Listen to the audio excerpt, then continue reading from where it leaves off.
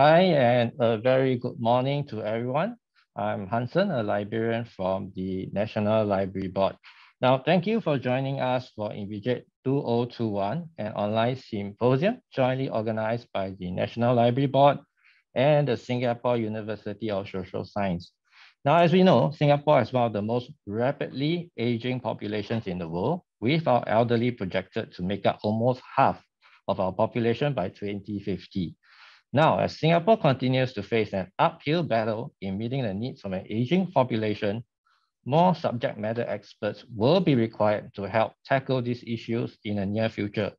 So for our panel discussion today, we have with us experts in the fields of aging, manpower, and healthcare. We'll be discussing the importance of gerontology as a discipline for the positive well-being of Singapore's aging population. Uh, now, I'm sure you're all eager to hear from experts, but before we start, I have just a few things I'd like everyone to take note of. Now, if you have headphones, uh, I would like to encourage everyone to use headphones for better audio quality. And we would like to encourage everyone to ask questions during this uh, panel discussion. So please leave your questions with the Q&A button. Do be reminded that this is a recorded session and the session is also live streamed to Facebook. So uh, hi to all of you who are joining us from Facebook. Now, how to ask a question? If you'd like to ask a question, just click on the Q&A icon below in the red box and type in your questions. Okay, I would uh, encourage everyone to um, ask your questions right to the speakers and try not to put as uh, anonymous because we're all here to share and learn today. Now before we start the session proper, I'd like to take this opportunity to first introduce you to our moderator for today, Professor Mehta. Now, Professor Mehta is the founder of the first gerontology master program in Singapore at the Singapore University of Social Sciences with a master's and PhD in social work from the National University of Singapore. Professor Mehta has vast experience in social work and aging issues in addition to being on the editorial board of the Journal of Ethnic and Cultural Diversity in Social Work, she has also been the vice president of the Singapore Anti-Narcotics Association Management Board and president of the Singapore Association of Social Workers, a former nominated member of parliament and currently serving as Justice of the Peace. Professor Mehta has contributed much to the social services in Singapore. And with that, I'd like to hand things over to Professor Mehta, who will be introducing the rest of our speakers to you. Hi, Professor Mehta, over to you. Hi, uh, good morning, everyone. Thank you for joining this session on the value of gerontology as a specialization for holistic care. I wish to welcome both local and international participants to our symposium. For those who are not familiar with the gerontology discipline, I will spend a couple of minutes to explain before introducing the speakers. Gerontology entered the academic arena around 1950s and it has drawn its core knowledge from several disciplines such as psychology, sociology, biology, and social work. It has a multidisciplinary approach towards aging and aged policy analysis. A gerontologist adopts a holistic view of an older adult. And this is especially important in family and health issues in the aging population. In developed countries, gerontologists are employed in a variety of spheres, such as housing, banking, hospitals, daycare, and residential institutions. In most countries, gerontology is offered at universities at the postgraduate level. That is why, for example, a social worker with a bachelor degree can go on to do a master's in gerontology and call himself or herself a gerontologist. We now move on to introducing the three outstanding panelists for today. First, Ms. Pei Kim Chu, with more than 20 years of experience in the aged care sector, Ms. Pei Kim Chu is currently Senior Advisor of Tsao Foundation, where she oversees the overall strategy and management of the foundation and its four initiatives towards transforming the aging experience through positive mindset and systemic change. Next, we will have Mr. Tan Tai Kiat, a recipient of the Alice Lim Memorial Fund Award. He received this award to do his PhD in gerontology at the Singapore University of Social Sciences.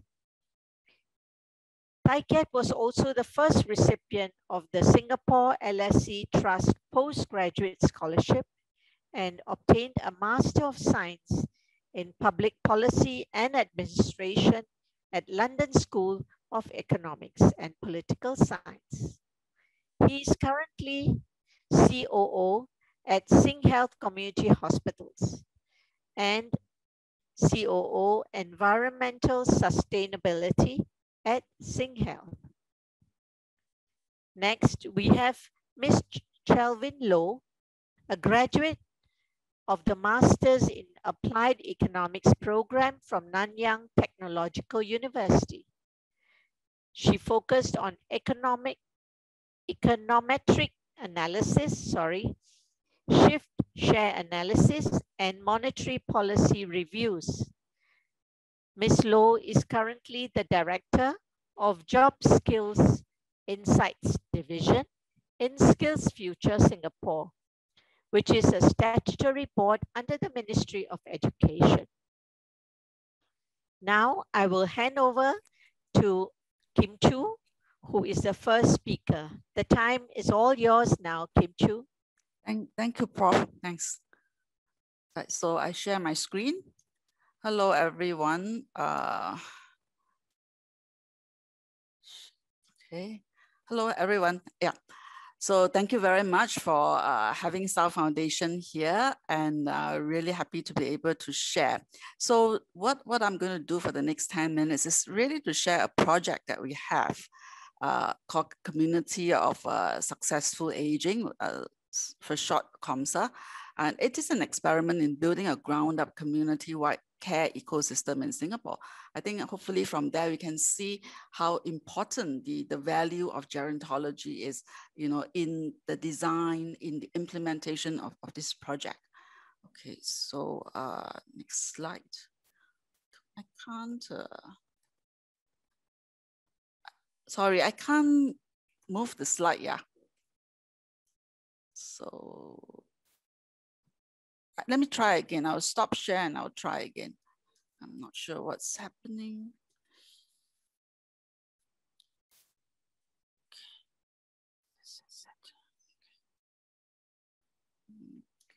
Okay, right.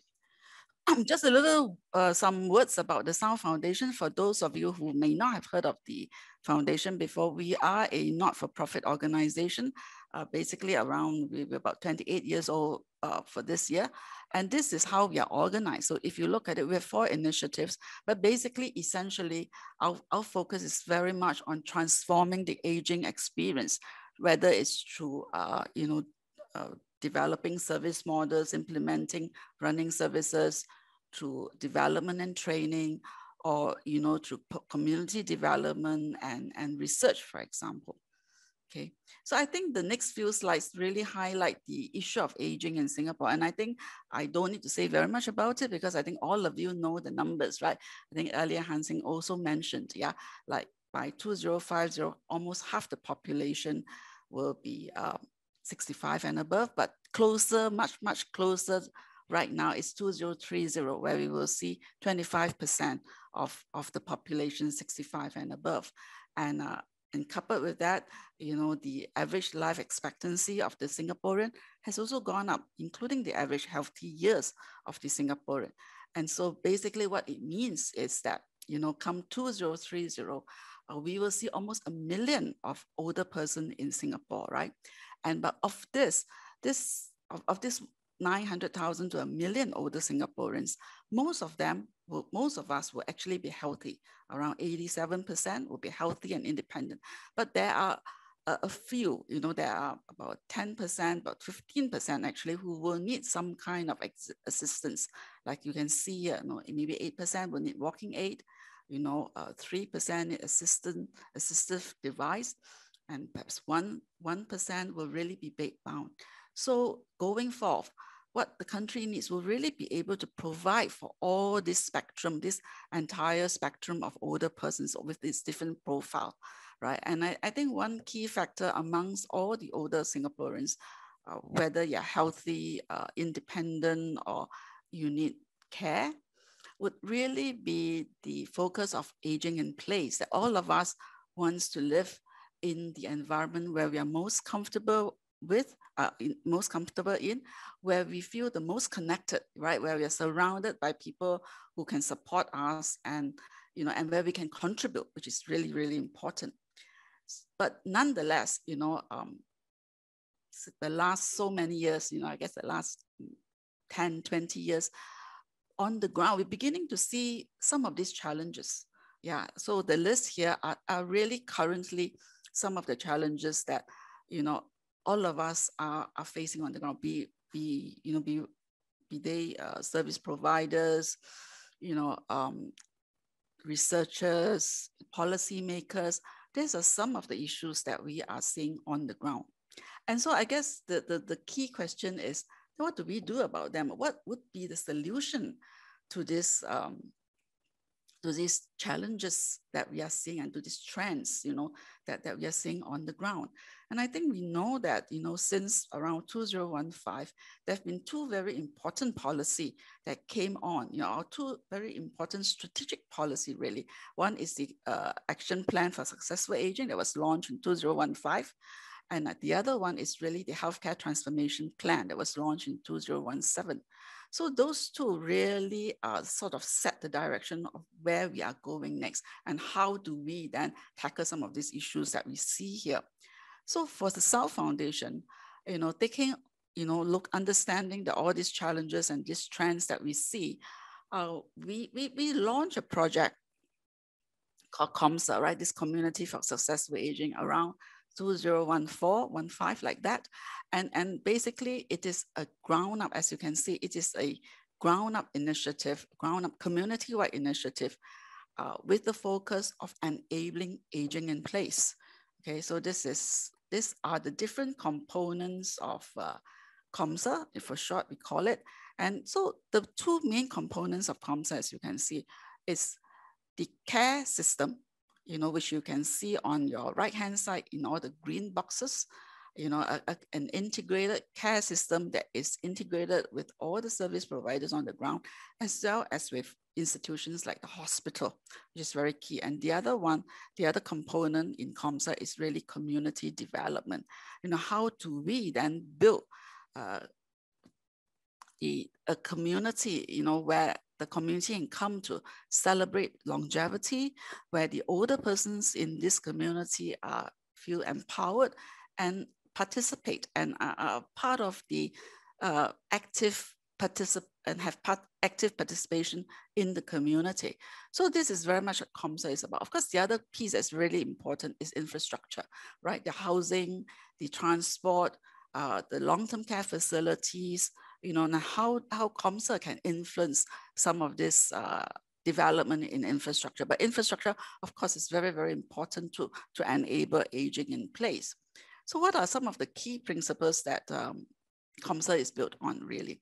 You know, so these are some of the key examples that uh, COMSA is built on. And if, if you look at this key, this some of these key examples, I'm not going through all of them, but if you look at all these key examples, it basically tells you a couple of things, right? It, it says that, first of all, the, the approach to this care to this community for successful aging is very much holistic.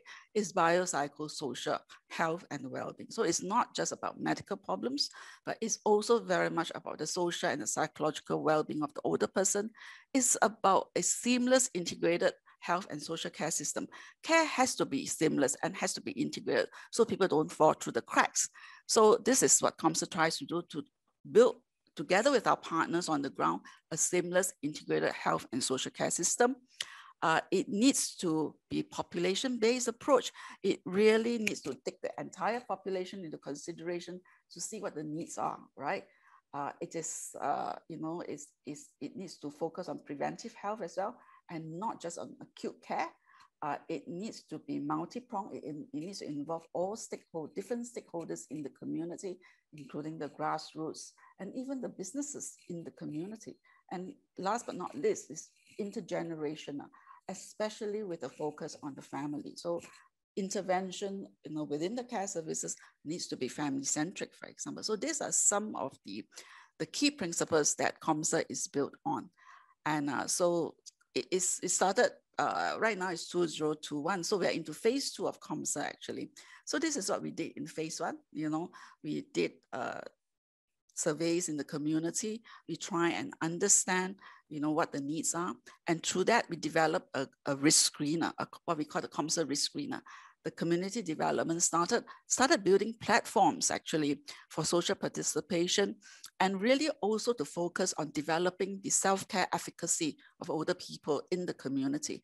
Then service system development, and that's where we started uh, building up the care management services, but also very much uh, the primary care within the community and integrating primary care together with care management into a new model that is called the person-centered medical home model. Yeah. And of course, we also need to develop service network, including the GPs in that region as well. So right now in phase two, we are what we call a one-stop integrated longevity center. Okay.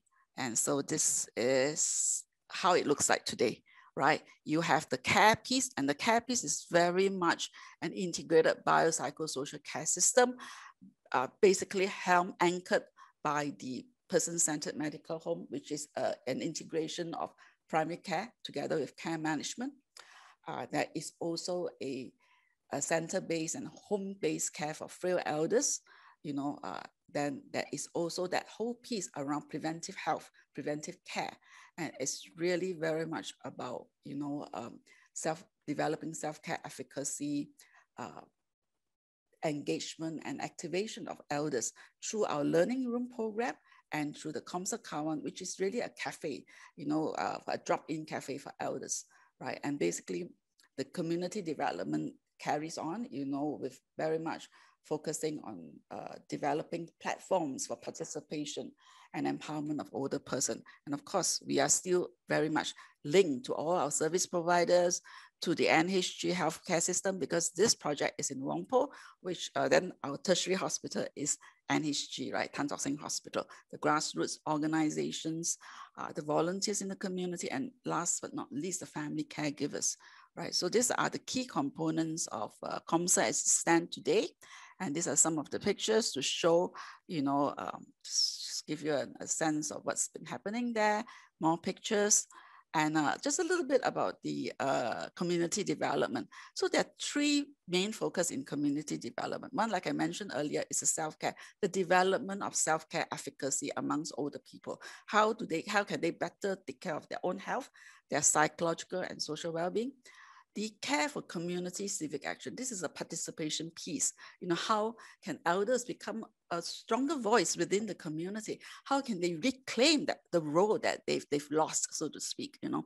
And uh, the last but not least, but really also the, the community, how do the community look at older people? Because we can have very nice care system, uh, you, you know, but, but if the community does not embrace the older person does not embrace longevity, then we're still not there, right?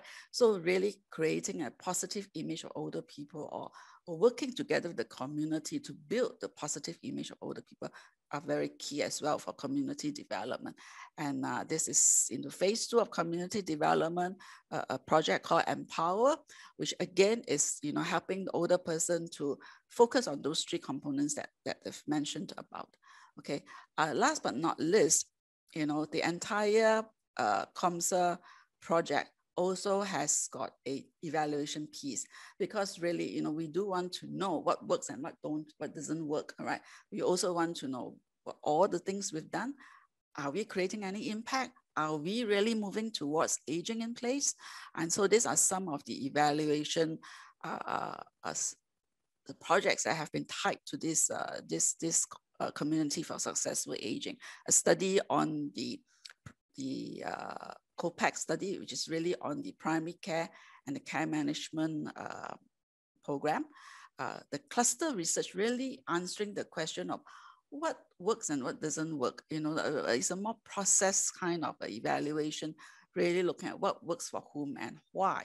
And then, of course, I've mentioned the uh, the BPS risk screener development, the COMSA risk screener development, and uh, last but not least, also a dementia care system study, because within one of the care management services that we have is a specialized care management service focusing on dementia care. And uh, there is a study attached to it. So the evaluation is very much uh, part of the COMSA, uh, the, the project that we've, we've been embarking on since 2014. Okay, so uh, that's last of my slides. So thank you very much. This is an older person, an elder, and John Duran at our Epic Day Center. Yeah, thank you very much.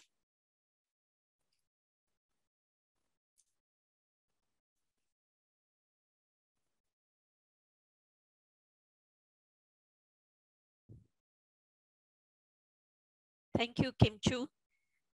That was really, really a very interesting presentation. And uh, I could see the gerontology principles running through the entire project, such as life course community systems, preventive care, multidisciplinary grounds up approach, and of course, the family-centric uh, focus. Now I hand over to the next speaker, who is Tai Kiat. He is a PhD student at SUSS. Over to you, Tai Kiat. Thank you, Prof.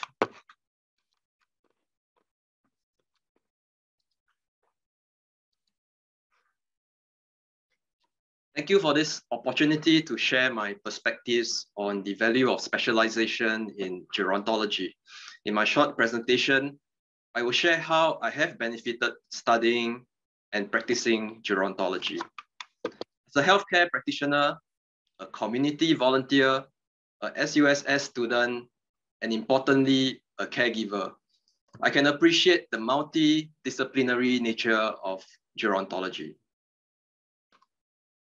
So is gerontology an art or a science? In my opinion, it is both. Some will say there is an art to age gracefully, and we also learn about the science of aging. Gerontology looks at aging holistically, from cultural and environmental contexts to biological, psychological, social, and even spiritual aspects.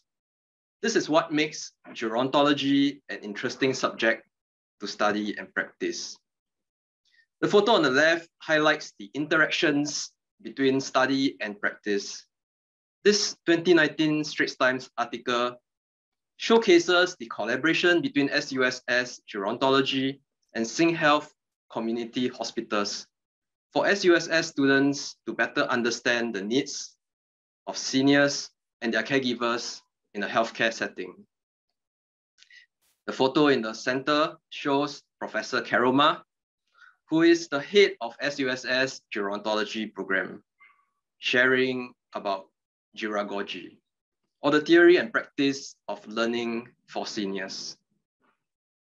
Last year, I penned the commentary on how to help seniors to be more digitally connected, that sustainable digital caregiving support is important for seniors to go digital, especially during this COVID period.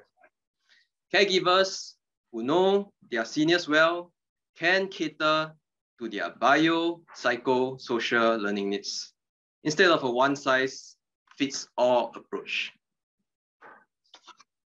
I'm really grateful for my life course to experience the art and science of gerontology.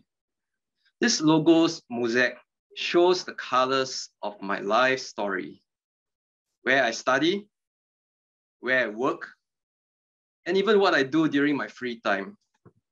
I still fondly remember during my primary school days, the regular visits to Geylang Serai Market with my grandmother to buy her favorite snacks.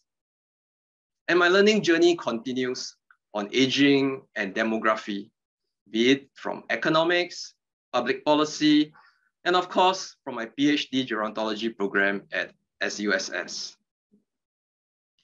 From my public transport experience on how to make our transport system more age-friendly, to implementing digitalization initiatives for senior workforce and caring for seniors and their caregivers at SingHealth community hospitals.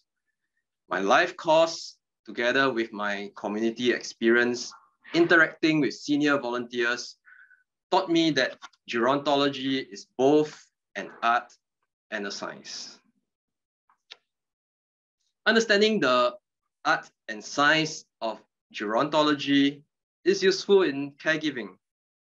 I am a caregiver to my parents and my parents-in-law for almost 20 years. This photo was taken during our family holiday in China five years ago. My dad, on the left, 80 this year, is a cancer survivor.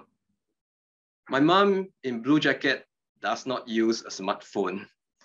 Whereas my mother-in-law, also a cancer survivor, always engages me on how to use her smartphone apps, including Trace Together. I did Tai Chi training with my father-in-law. Through these interactions and a deeper understanding of them as a person, my care and giving roles have been a meaningful and enriching one. It is mutual and symbiotic care and giving. From a practice and even study perspective, I am still fascinated by the biological, psychological, social, and even spiritual aspects of caregiving. Please pardon my simplistic visualizations of biological, psychological, social, and spiritual aspects. But this perhaps capture how I perceive these aspects for my mom and dad and the implications to caregiving. My mom is a churchgoer, and my observations are that her spiritual needs precede biopsychosocial. Unlike her, my dad is contented in the middle of biopsychosocial plus spiritual intersection. That is, after going to church with my mom and have his coffee and chit chat with their kakis at their favorite Toa Payoh coffee shop. Knowing what matters to my parents is crucial for caregiving so that I can engage them meaningfully. My dad definitely knows my mom well enough to bring the church to her through his smartphone when she's at home during this COVID period. I taught my dad how to use his smartphone and their coffee kaki sent the church web link to him. I could really see and feel the smiles in my mom and dad. Indeed, a gerontological understanding of aging matters and it is important to embrace a multidisciplinary view of aging.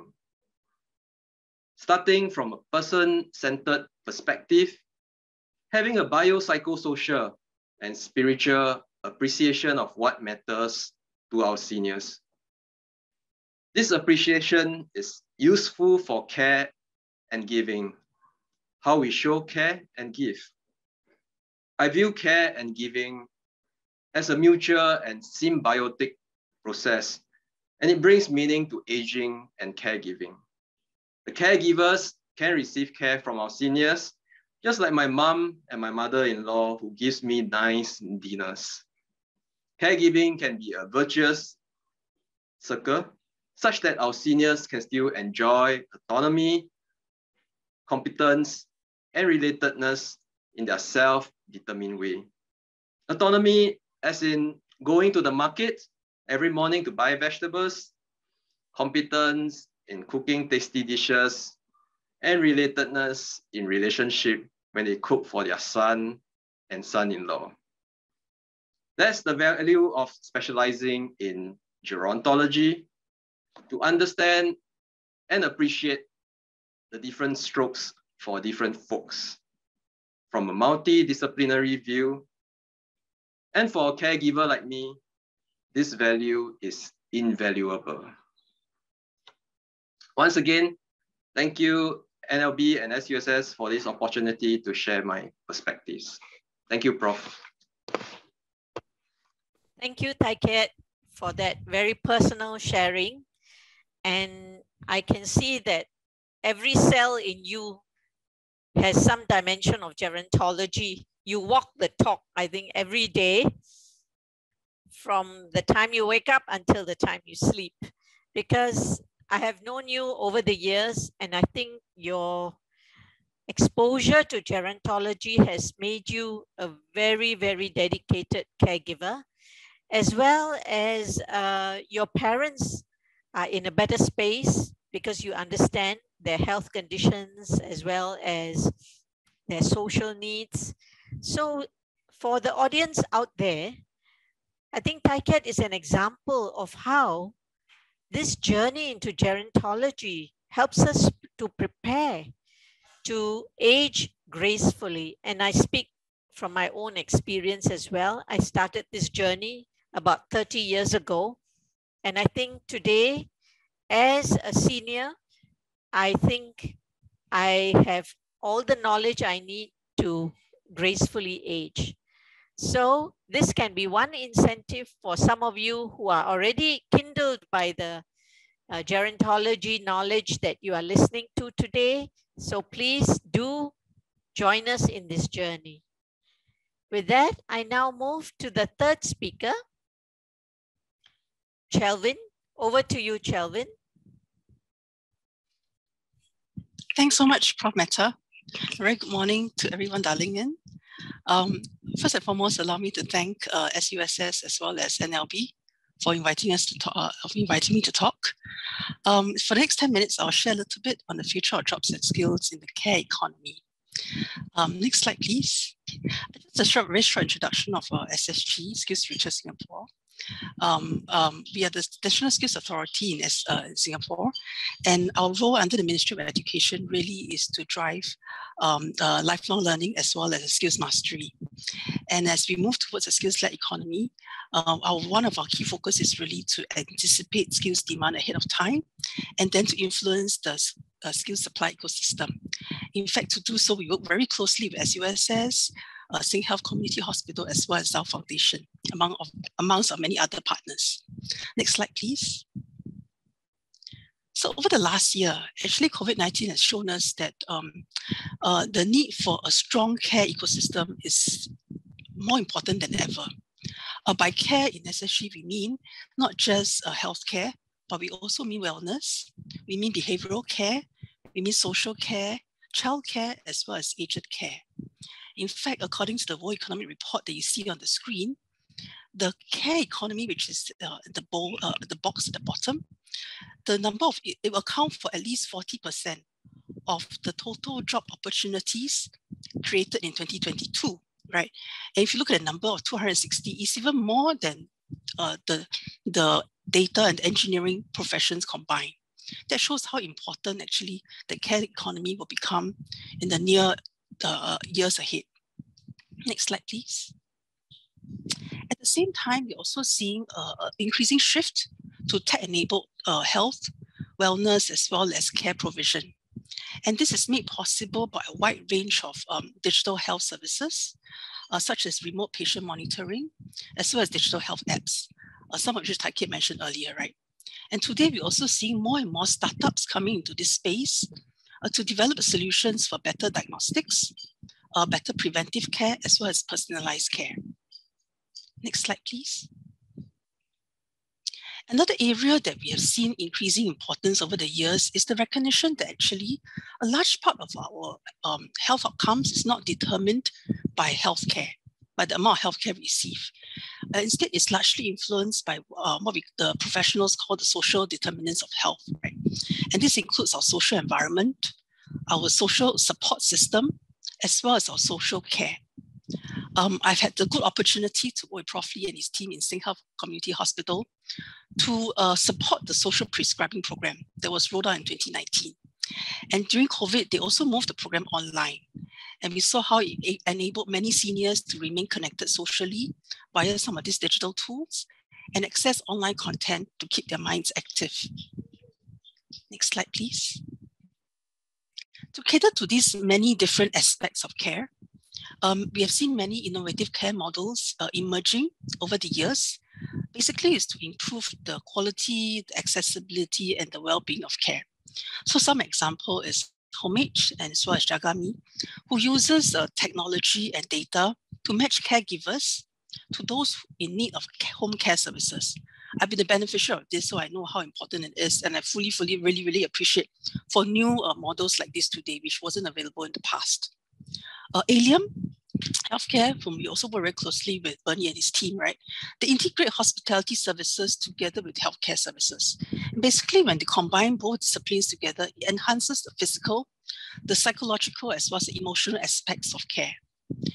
A Mayo Clinic, um, based in the US, um, is they enable they leverage technology together with community partners to enable what we call a hospital at home model where they combine in-person care remote monitoring, clinical care, as well as caregiver support.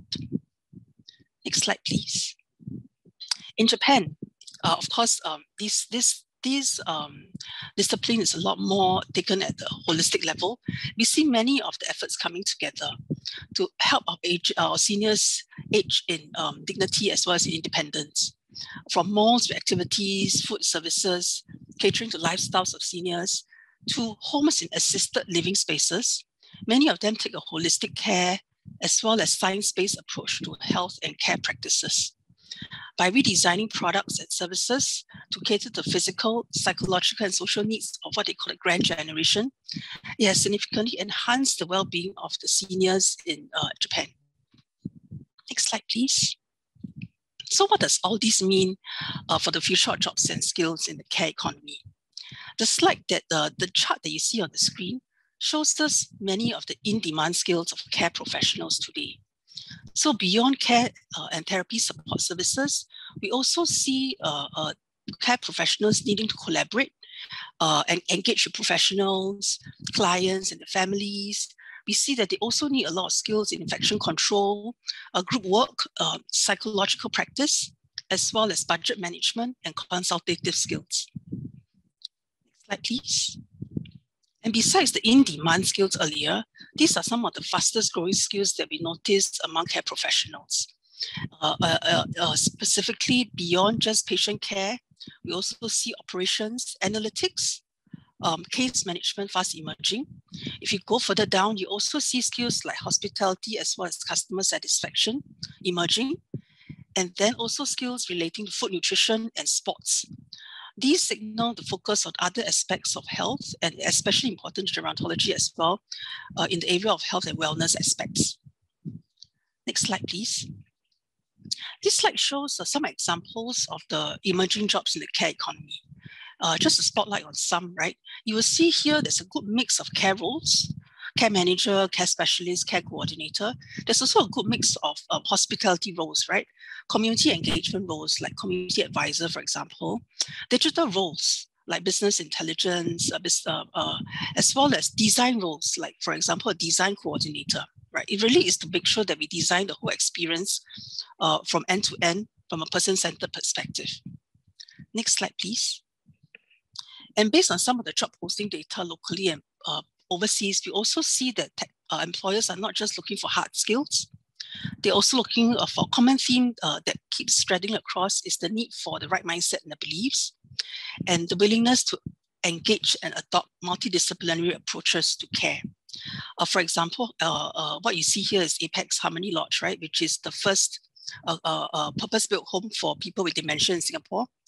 Um, they're hiring therapeutic program assistants, right, what you see the skills that they need is empathy skills, care skills, therapy skills, uh, partnership as well as influencing skills. Next slide, please. So these skills, um, or what we call skills to build skills, are really part of our 16 critical core skills that uh, SkillsFuture Singapore launched in 2020. Uh, we group the skills into three buckets, uh, mainly thinking critically, which is on the left, interacting with others, which is on the top, and staying relevant at the uh, on the right. We believe that skills such as trans transdisciplinary thinking, sense making, customer orientation, building inclusivity, collaboration, communication, learning agility, as well as self-management will be critical core skills coming up for the care economy. Next slide, please. And one example I want to share is Doris. Doris is currently a senior assistant care manager at Tsao Foundation. She moved from a previous career as an accountant to the aged care sector seven years ago. She shared that soft skills like communication, transdisciplinary thinking, collaboration, sense making, and developing people were important skills that helped her to develop herself in this sector. And these skills enable her to communicate effectively to her residents, assess across biosocial as well as um, uh, uh, uh, uh, social aspects, develop holistic care plans, as well as regularly coach her more junior colleagues. Next slide, please. And for audience in our midst who are thinking how we can also contribute to this sector, uh, Skills Singapore has also curated a list of SG United courses. They are heavily subsidized in terms of course fees. And not only can these courses be paid through your SkillsFuture credit, SSG will also provide training allowance when you go through this training without training providers. And ultimately, these programs it will equip you with the skills in the various aspects of gerontology to access the job opportunities after the training. Last but not least, for community care providers in our midst, in the audience today, SSG has also worked with partners like Kwong Wai Shiu Hospital as our SkillsFuture Queen Bee to contextualize modular upskilling courses, tech adoption workshops, as well as uh, workplace learning modules for ComCare organizations we hope many of these, uh, we hope many of our audience here today will take some of these opportunities and invest in these skills. And these skills we all heard is not just relevant for our work, but it will definitely also benefit our personal lives. With that, I've come to the end of my presentation, and I hope this has been a useful sharing, and then I pass the time back to Prof. Mehta. Thank you. Thank you so much, Chelvin. Your contribution is quite different from the earlier two speakers.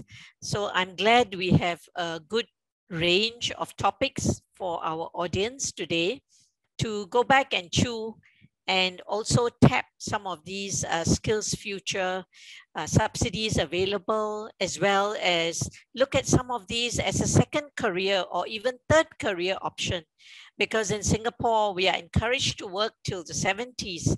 So if you imagine somebody at the age of 55 moves on to a second career in, say, uh, community care, and then a third career as a healthcare assistant, as we heard the other day that there are many uncle caregivers now, many uh, elderly men around 60 plus who are going into healthcare assistant training.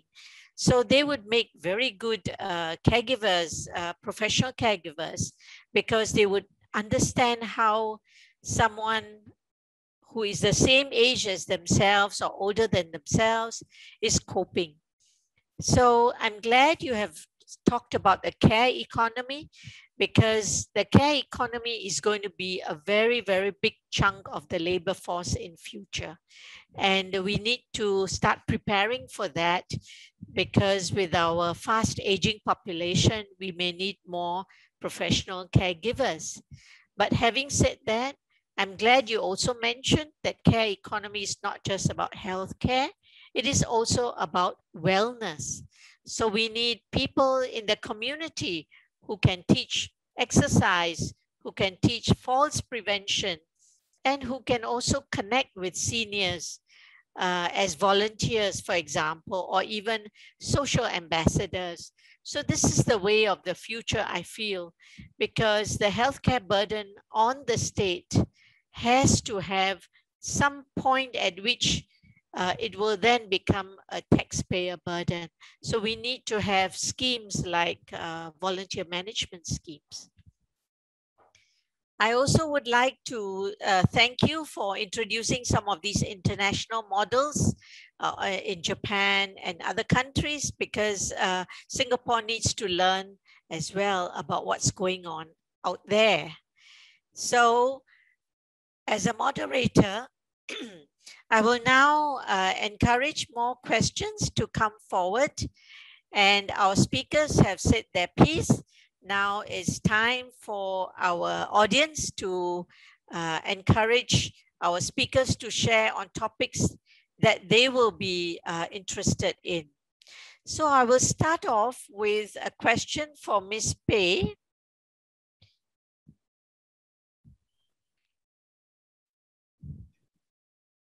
With intergenerational community bonding, what plans are there to teach the young children these days about helping with care and engagement with older persons?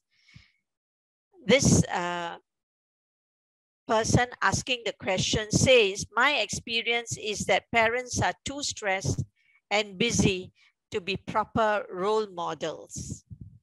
Any of the other speakers may also uh, unmute themselves and join in this discussion. Okay. Uh, th thank you, Prof. And thank you for the question. Very interesting question. Um, as Prof was, uh, you know, say uh, mentioning the question, I, I was thinking, you know, I want to share this this uh, program that we have. We still run this program, not so much now, but we used to run it a lot, and it's called guided autobiography. Uh, some of you might have heard of it. And um, when we ran that program a number of years ago, we had a project that we worked with school age children, school going children. I think they were sec one, sec twos, basically getting these young, young uh, individuals to, to be the interviewers of older person as they do their life review.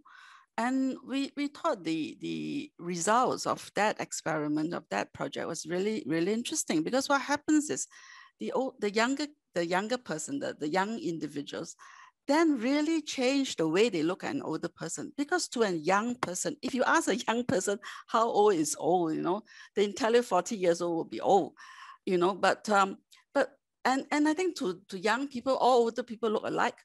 There, there's just one mass of old people, you know. But I think when they when they the kids did this, guided autobiography, they, they became the interviewers.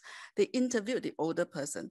Then they began to learn about the, this older person, their, their life experiences, for example, what they've gone through. They begin to see this older person in a very different light. They became individuals. They became person in their own right with their own life experiences. And they could even connect. I remember there was a boy who said, oh, wow, he, he played uh, he loved to play football when he was young, and I love football too. And they find common platforms where they can communicate. So, so I think you know intergenerational bonding we know is very very important. It, it, it, it you know if we really want to see a thriving older persons, you know, aging in place and all that thing that we talked about, then this is very key. And I, I think you know, this is this like a guided autobiography, getting younger people to be more involved, understanding the older person, having a different mindset of who they are and what older people are will be very, very key. Yeah. Thank you, Kim Choo. And uh, I would like to uh, pose a question for Thai Kiat. Somebody is asking, I am in my mid 50s. What are the options to move into the field of gerontology as my next career? Appreciate your insights into this. Thanks, like, thanks, Prof. Yeah. So, so um, uh, as you all know, I, um, I'm a student at SUSS, and uh, when I did my first year study in uh, grad dip in uh, gerontology, I have classmates who are also in their 50s. So uh, some of them, they move into tech and uh, innovation and uh, others also move into uh, the community care sector. So I would, I would uh, really say uh, it depends very much on the interest and the strength of that person and how they can also bring forth their perspective and also their experience in exploring career opportunities. And as um, um, Chelvin um, shared earlier, with regards to uh, the different training and also the skills that are required in industries. I think these are opportunities uh, that uh, anyone can uh, can leverage and also look into uh, regardless of age. Right. Thank you. Next one is for Chelvin. This sector is not lucrative enough for young people, especially those who may not have previous experience in caregiving or related areas. How can we encourage more young people to consider this as a career option, even if they do not have personal involvement, in the same way that students often want to go into careers like engineering and marketing? Chelvin? Thanks, Prameta. Um, in fact, I find this uh, question somewhat related to the first one. I just wanted to share that there are many aspects. Uh, um, today, I think there are many options. Employment is just uh, of uh, uh, formal employment is just one, right? Uh, we've also seen like uh, efforts that we are working on on another part of our work with SUSS, which is on volunteer management. So today uh, we see a lot of volunteers coming in and they want to volunteer in different organizations, including Comcare, including healthcare organizations. And what this can allow the young, our younger uh, uh, uh, workforce to have a, have a sense of what it's like. And as part of the volunteer as part of you coming in as a volunteer, the um, the center also provides you with training in some of these skills and gives you first-hand experience. And as part of that, you can decide for yourself whether this is something that you really have a passion for. Because I realize in this sector, it is really very much uh, the passion for the sector and the the, the willingness and a deep desire, right, to really want to be involved in lives of our older people or older persons, right? So in a sense, the volunteer manage uh, volunteer part of your uh, experience can help give a flavor of what it's like. There are many organizations today we know um, that are creating new roles and need not be roles that you see today. So like, for example, Tsao that we work with very closely, HMI, for example, they are creating new roles that are combining um, um, roles with, for, for example, technology, for example, to, to make the work a lot more interesting, to make the work, um, to change, to keep the roles in uh, uh, tandem with what the uh, the new economy is looking for. So for example, everybody needs digital skills. But where does digital skills come in? In the space of uh, wellness provision, in the terms, uh, terms of care provision. That's where I think um, from a from an organization perspective, from a care economy perspective, we need new ideas from the younger generation. And I think there are firms today out there who is prepared to redesign roles that can cater to aspirations of our younger officers today, our younger workforce today. It need not be what the roles you see today. In fact, many of the roles that you see across many different sectors today didn't exist five years ago. In healthcare, in comcare, in uh, care economy, we see the same trends coming up. It might be moving a bit slow in the past, but I think with COVID, everybody realizes that it's very important to make sure we, we pay a lot of attention to this. Yeah. Thanks. Thank you. I have a question for Kim Choo here. Uh, will COMSA expand to other housing estates? And how does the development of the COMSA model compare with uh, the Kampong Admiralty model and the Bukit Batok assisted facility project model? Thank you, uh, Prof. Uh, yeah. yeah. So, so actually, I think if if we look at uh, what's been happening to the to the um, aged care sector, the elder care sector in the last few years, we'll see that there, there, are, there are already a lot of uh, projects coming up that focuses on, you know, uh, a population health appro approach, focusing on community development and care development within the sector itself you know, I think some of them would be what AIC has been trying to do, developing this community of care. They, they're running a pilot on that. And I believe that all the different regional health systems are also working with the partners on the ground to develop the, the care system in the community and integrated care systems in the community. So I, I've, I feel that in that from that perspective, Southern think that uh, you know, we, we, we will continue to work with our partners on the ground and see what, what we can do together in a collaborative manner, but uh, not in that sense to bring, uh, to, to start replicate another COMSA in that sense in another uh, locality. But what, what we really hope is that what we've learned from COMSA, you know, that so far seven years, seven to eight years now, that that we can extract the principles, the very key principles that needed that that are very useful and relevant. How can we then, you know, continue to work uh, within ourselves, but also with our partners to really develop um, this you know, aging in place to really make aging in place work to enable aging in place in, in that sense. Because I think in one thing for sure in our experience uh, in, in COMSA is that we can't work alone. You know, we will never succeed if we work alone uh, because alone we does not make the community, right? We really need to work with the stakeholders on the ground. That's really, really key. To, to build that system, we need to work with our stakeholders. So that's something that, that you know, come to us very clearly. As for the comparison with Kampong, uh, Admiralty and Bukit Batok, I want to go back to that three components that when we first uh, designed COMSA, we felt those three components were very key. One, if you look at it, one is about the care system. The other one is about the, um, the environment, right? The infrastructure, the environment. And the third is the community development. So, so to us, those three are very key components. So I think whatever project, whether it's Bukit Batok or Kampong Admiralty or COMSA, I, I think as long as we can build those three components on the ground, um, I, I feel that you know the, they, they will be key to, to the success of, uh, of any of those projects. Yeah, thank you.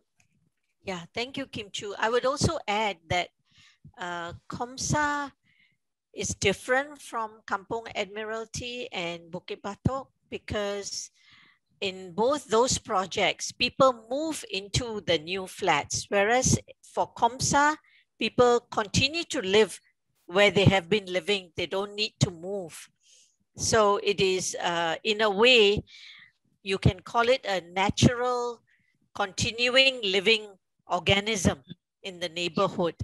And uh, what you are doing is to enhance it further.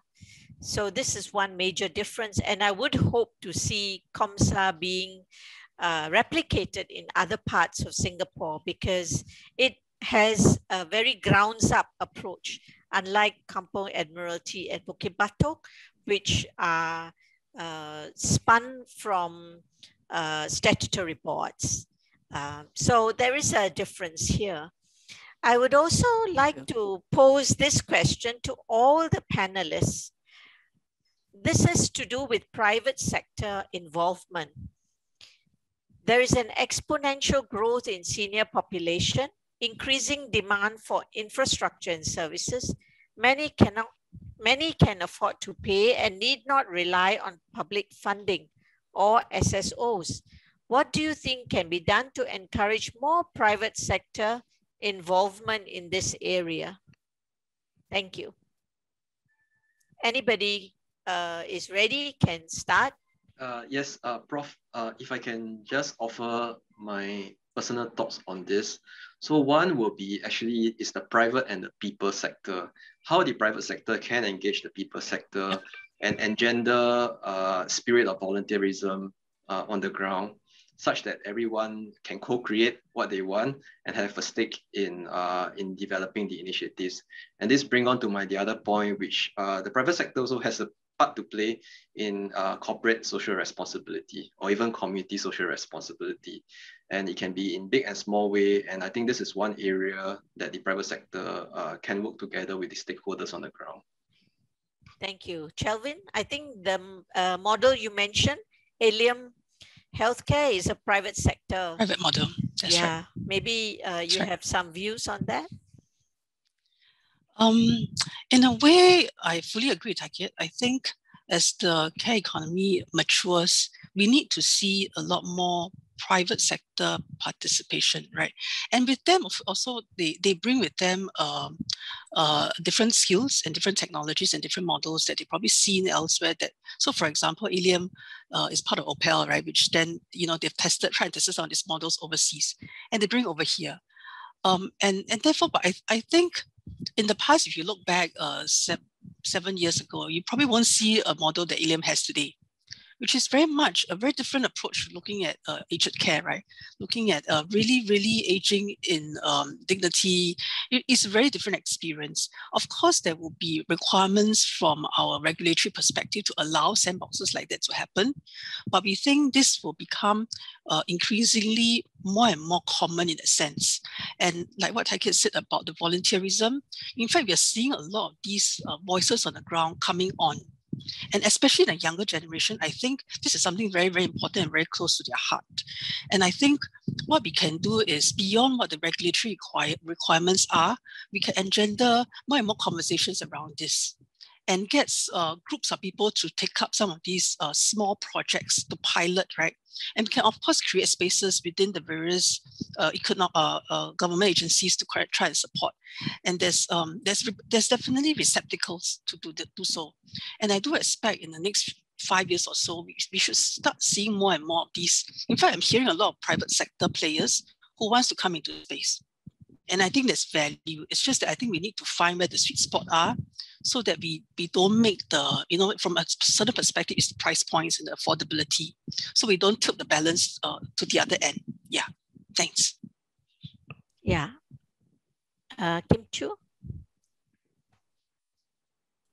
Okay, uh, yeah, thanks. I, I totally agree with what Chelvin and Haiget said.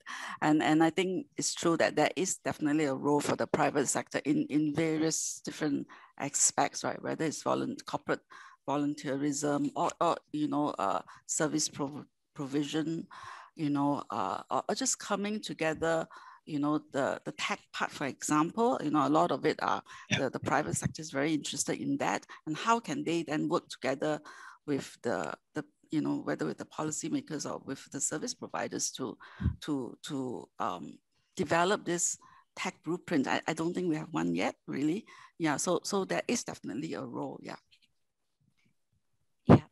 uh, somebody made a comment that maybe a softer touch of regulatory mm. compliance may yeah. help uh, more private sector involvement. Mm. Uh, there is a question on dementia, and uh, the question is to do with the Sembawang uh, project. There was a tender placed for developing a village in Sembawang for dementia uh, patients.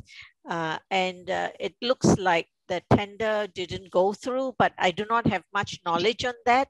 If any of you have uh, uh, extra knowledge on this, maybe you can share. Uh, I, I, I can say something. I don't have extra knowledge on that particular project, but I thought what would be really important would really be for communities in Singapore to, to really uh, enable that community to become dementia friendly, dementia inclusive. You know, so how, how do we do that you know, as a community, not as a private or individual service provider uh, or any individual units, but but really as a whole community, how do we develop this uh, dementia-friendly, dementia-inclusive uh, society communities will, will be very key. And that would be an interesting, um, I think, a, a topic that of conversation that we can have actually. Yes, yes, I agree with you, Kim Choo. We certainly could be more empathic and could be trained to recognize and to support people having dementia because it would also help the caregivers uh, to um, be able to reach out to neighbors to help uh, in respite care, for example, uh, so that the caregiver can at least take a break. Any of the others want to add anything? If I can uh, echo Kim Choo's point, uh, I think it's also important to raise awareness of uh, the condition so that uh, uh, everyone knows uh, what are the things that also can help someone or persons with dementia. And to age in place, I think the inclusive part has to be in place and everyone, including the neighbors, the community, have a role to play uh, to ensure that uh, uh, those persons with these conditions, they are also able to move around within our community. And if they need help, uh, there'll be someone out there to help them. Yes, thank you very much.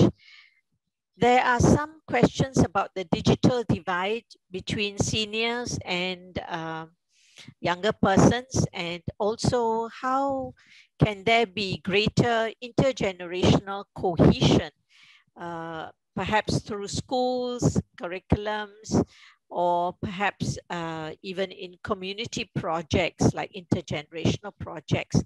So if any of you have uh, any example to share, this person would like to know more.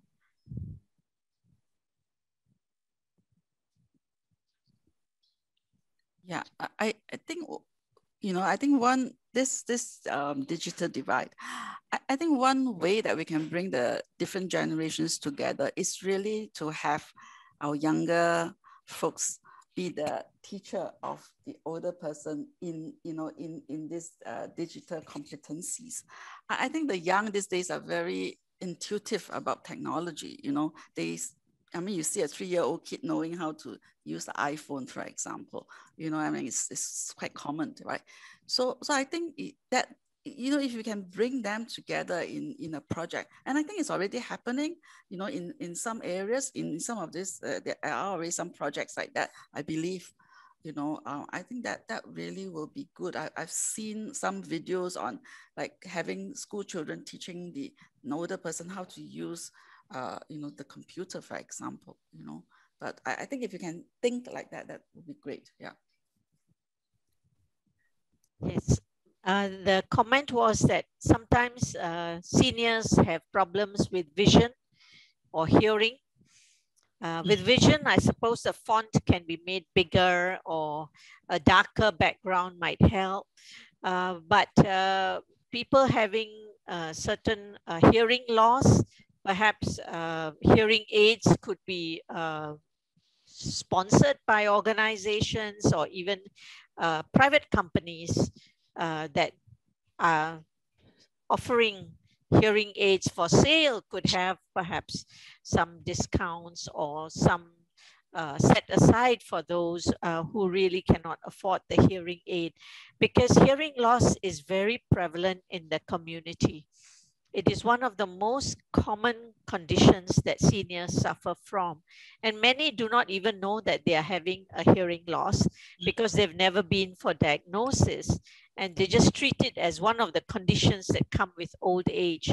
But uh, for the audience out there, perhaps if you have grandparents who are suffering from hearing loss, you may encourage them to take advantage of the health screening offered by Ministry of Health uh, on a very uh, nominal basis, uh, they can go for health screening for hearing loss and vision loss.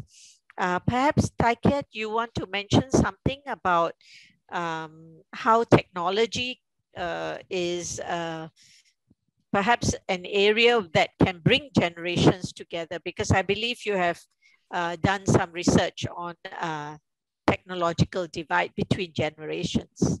Uh, yes, uh, thanks, Prof. Yep. Uh, uh, in my personal experience, I see grandchildren uh, fussing over their grandparents and teaching them how to how to use smartphones, uh, Zoom, and even WhatsApp.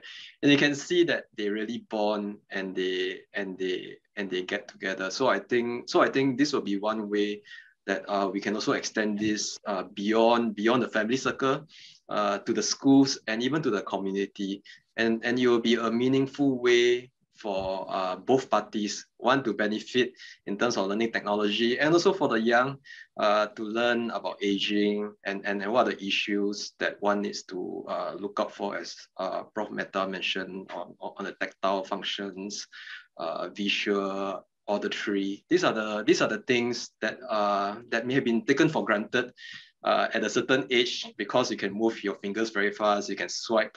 But to someone uh, who is of a different age band, uh, they struggle with some of these functions. And having this, uh, this uh, exchange would also promote uh, intergenerational bonding.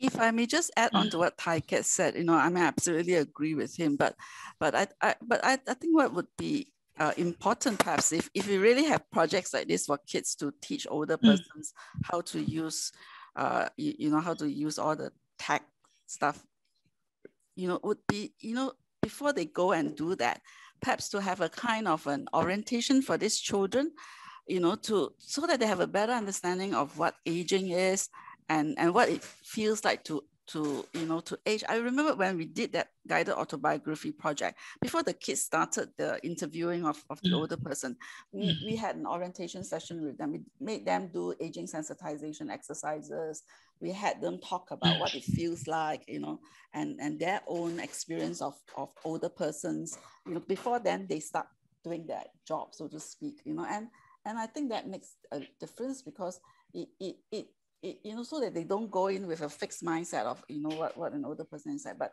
they, they are being exposed to a, another perspective of, of aging of an older person. Yeah. Thank you very much. I just, uh, yeah, I just yeah. wanted to add one point. Um, the ideas here, I think, are fantastic. I'm just wondering whether how we can mobilize uh, the younger generation because they are very, very good at tech. Um, so, for example, right, we work very closely with our IHLs and Institutes of Higher Learning, for example, and Ann Poly have a very strong startup community. And, and, and it's possible, for example, we throw some of these challenges to our younger generation as part of their courseware, right? They could come up with some of these interesting ideas, or as in the startup community, they can also hear some of the problem statements from our different Comcare organizations, for example, in this area, right? And let them come up with ideas and prototypes. And these can then involve them in the whole service journey of how, you know, uh, uh, uh, a senior person goes through uh, from end to end, right? From the start, from you, actually, what's the motivation to do this, right down to the really what Taki was saying, the tactile part of it, right? The auditory part. So, and then you involve them in the whole journey. At the end of it, the both the institutions in terms of the IHLs and the students benefit from in-depth understanding. And at the same time, there could be certain working prototypes that could be could well be you know usable in a sense so and ultimately you don't need something that's very high tech and something very advanced you need just something that's that's workable and our seniors can use and we can you know can, then build on from there. You can sort of develop a, a, momentum for that. So i feel it's really about mobilizing different parts of the ecosystem to come together. If this is a real problem and this is something that we really want to invest in i think there are different points ecosystem we can activate to do this. Yeah. Okay great. Thank you so much. There are a few questions related to the topic of career opportunities for people who are graduates from the grad dip program in gerontology or the master program in gerontology. they may be from NTU or from SUSS. So um, as my uh, previous uh, experience with SUSS has shown, some of those earlier batches of graduates. Uh, they have gone on to build their second careers. Uh, for example, they may have been from um, a lecturing background. They could be a poly lecturer, or they could have been um, banker or accountant, and they've moved on to build second careers either in the healthcare sector or even uh, as uh, managers of organizations. So this question has many uh, different aspects to it. So I will throw it to all of you as well. Uh, I thought I'll just start out by saying that there are uh, second career opportunities for people who want to switch lanes. I call this switching of lanes from one to another kind of uh, sector. And it requires a lot of adaptability, flexibility, and willingness to learn. Uh, some of them have had to take a pay cut, but very soon, within the span of about a year or year and a half, they were earning what they used to earn before they joined the sector. So it means a little bit of patience as well. So I'll throw the question open to the speakers now. Uh, anyone can start. Maybe I start with Taiket. What do you have, uh, uh, you know, as a piece of advice, and then uh, perhaps uh, Kim Choo, and then end off with Chelvin. Thanks, Prof. Yes, I am very passionate in volunteer work. And I would suggest that when someone is exploring maybe a career change or to have a sense of what's that industry is offering, you can always go there as a volunteer uh, and, and, and see for yourself whether that is something that you want to do and to know the ins and outs of the work of the organization, of the industry, and what entails uh, before making the switch. Or you can also uh, do it as part of the internship. So SUSS uh, offers internship. Uh, it gives great opportunity for students uh, to have a different perspective uh, from the industry and also the companies uh, that are considering hiring them if they're keen to take on the offer.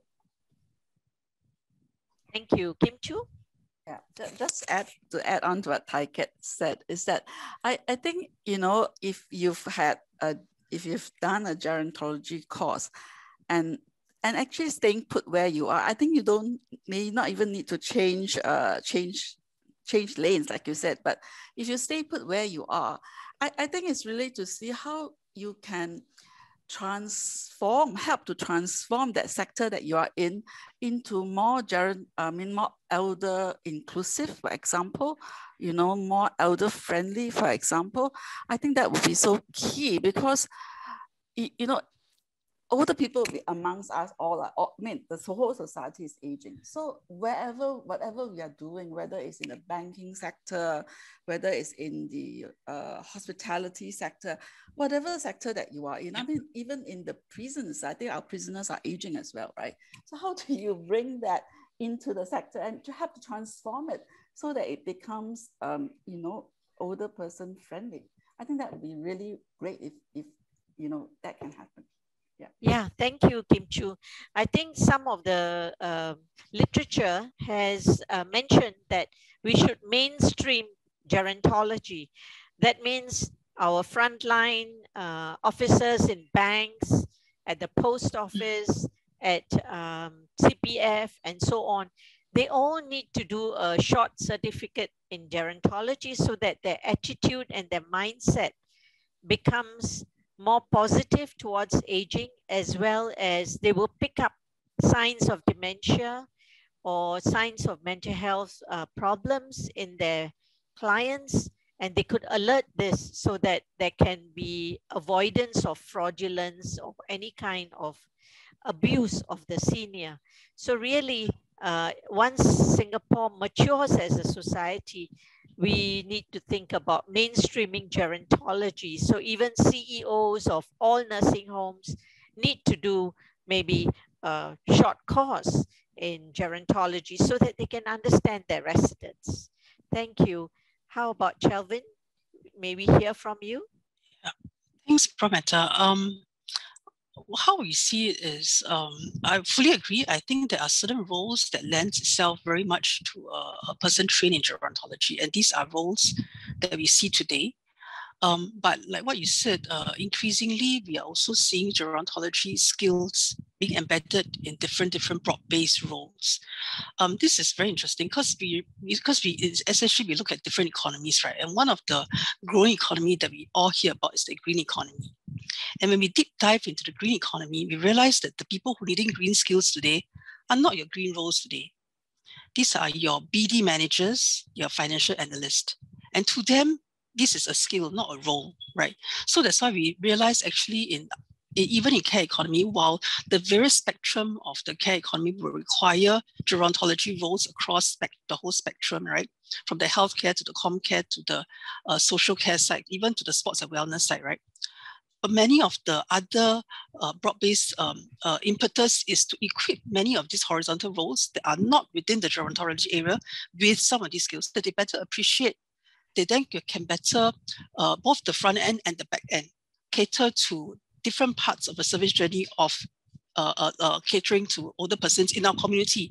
And if you can envisage this becoming more and more prevalent, even you and me, I would I think everybody would prefer a community that has where everybody is on the watch out, you know, are equipped on these skills, may not be professionally uh, to that certain extent of a professional, but appreciation, the, I think the community will become a lot more um, uh, um, easier to, I mean, more comfortable for us to all age in um, uh, um, uh, uh, dignity and independence. Like, yeah, yeah. Thank you very much, Chelvin.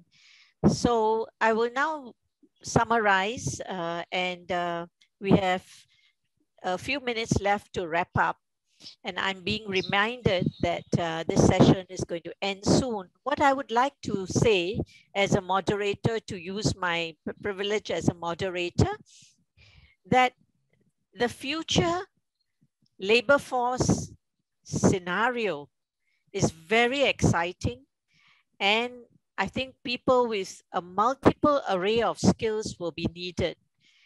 and understanding of the needs of caregivers, understanding the needs of uh, seniors, both at the third age as well as at the fourth age when they reach their 90s and even we have centenarians in Singapore.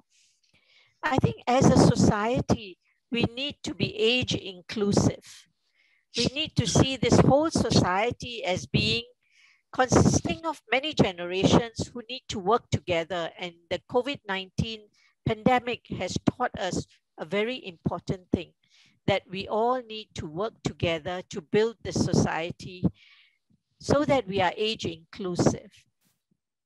I would like to say to those graduates from these uh, gerontology programs, please do not hesitate to send cold letters to organizations, either to volunteer or to seek an internship or even to ask for a job. Because today, we do not wait for a vacancy to be announced many people are searching for jobs and many employers are looking for versatile individuals who can do a wide range of skills. So with that, I think we have come to the end of this session. I would like to apologize for those questions that were not answered and we will try and get some of these answers over to you. Not now, but a little bit later, hopefully. And to me, as a moderator, I would say I have been very, very privileged to moderate this session. I have learned a lot from the speakers as well as from the questions asked. So with that, I wrap up this session. Everybody, please stay healthy and stay safe. Thank you. Thank you. Thank you to all the speakers. Thank you. Thank you. Thank you. Thanks. Thanks. Thank you. Hi, everyone. I think we had a very insightful discussion for today. I'd like to thank all the participants today for your active participation. Now, um, I'm sure all of our speakers here have tried their best to answer all the questions, but due to time constraints, uh, do note that we are unable to answer all the questions that we have today because there is a, a lot, okay? Now, uh, don't lock out just yet, okay? Before you leave, are some resources that I'd like to share with uh, everyone. Now, just now, I think there was a lot of questions regarding uh, furthering of education in gerontology. So for those of you who are interested to find out more, you can visit the website, the Singapore University of Social Science, uh, do note that they also have a Facebook page where you can find out information on their latest uh, latest information on their program. Okay, so do take note of these two links that you see in this slide here. Now, I also like to take this opportunity to share with everyone on NLB uh, mobile app. So for those of you who uh, have not heard of this, uh, do note that NLB, we do have a mobile app and this mobile app is actually available on Apple App Store and Google Play Store. Okay, so to download, you can just scan the QR code, okay? Now, the good thing about this uh, NLB mobile app is that it has a whole host of functions, right? You can read e-newspapers and e-magazines, right? You can read uh, local Singapore press holding e-newspapers. You can search for a title of a book or, or, or resources that you like you can find programs and events, and you can pick up new skills digitally. But uh, one of my personal favorites is that if you happen to have downloaded this uh, app onto your handphone, and if you are in any one of the libraries, and let's say you see a book on the shelf that you like, you can just uh, pick up the book and allow the app to access the camera in your handphone. After which you can just scan the barcode on the book and uh, that's it. We have uh, borrowed the book already. So imagine if there's a long queue at the borrowing station, you can completely skip the queue. And of course, once you borrow the book, right, the loan information will be captured into the app. So you don't have to print out a physical loan receipt. So that helps with sustainability. And of course, uh, as a librarian myself, as, as someone who borrows quite a number of books, uh, you will end up losing the loan receipt and then forgetting, you know, when the book is due. So I uh, do like to encourage everyone to download this app and to try it out.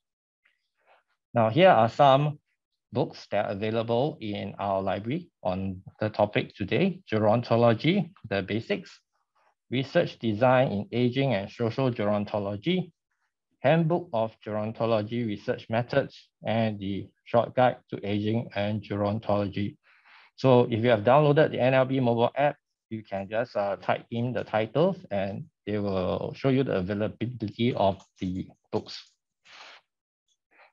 Now, our librarians have also uh, worked hard to produce a resource list for the, all the sessions today. Now, what you're seeing here is just like um, a small portion of it. So if you're interested to find out more, right, I'd like to urge everyone to right, scan the QR code here or to take note of this link, okay? The whole resource list is available for download at this thing. We also like to hear your feedback for the session today. If there are things that you like, uh, do let us know. If there are any areas that you think that we can improve on, we would like to hear from you as well. Okay, um, I understand that some of you may be rushing for the uh, second session, right? Coming up soon. So um, do you don't have to fill up the feedback form now, but do take note of this link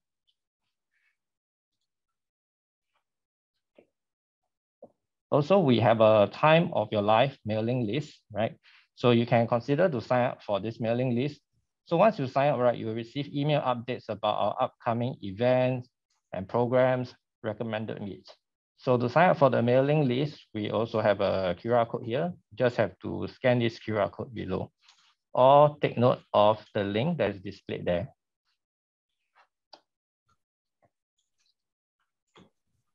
Okay, the next upcoming program is Senior Living Options Around the Globe. So participants who are attending this uh, session, you understand how our public and private sector organizations are encouraging seniors to embrace aging with grace. And with that, we have come to the end of the session today. Thank you for joining us once again, and we hope to see you for other upcoming sessions today. Okay, thank you and goodbye, everyone.